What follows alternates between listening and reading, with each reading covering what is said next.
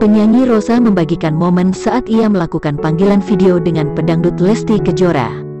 Dalam unggahan di Instagram Story, Rosa memperlihatkan tangkapan layar saat ia berbincang dengan Lesti. Tak banyak tulisan yang disematkan Rosa dalam unggahan tersebut. Rosa menjadi salah satu artis yang memberikan dukungan kepada Lesti yang diduga mengalami kekerasan dalam rumah tangga, KDRT, dari suaminya, Rizky Bilar. Hal yang paling menarik perhatian dari tangkapan layar video call tersebut adalah wajah Lesti. Lesti terlihat tersenyum ke arah kamera dengan menggunakan hijab putih. Namun mata pelantun, Kejora, ini terlihat sedikit sembab.